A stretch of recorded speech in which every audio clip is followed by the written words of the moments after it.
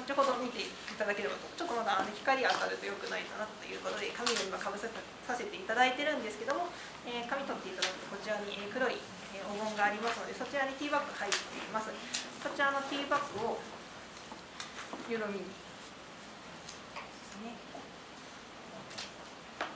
ちょっと、えー入れていただきます。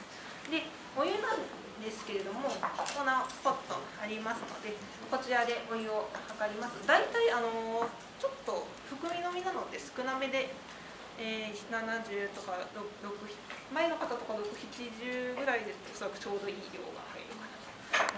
もう少しお茶の葉を泳がせてあげてください。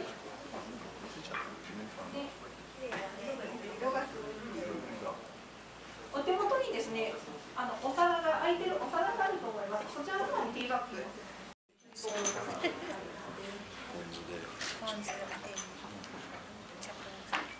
最後の一滴まで美味しいところが。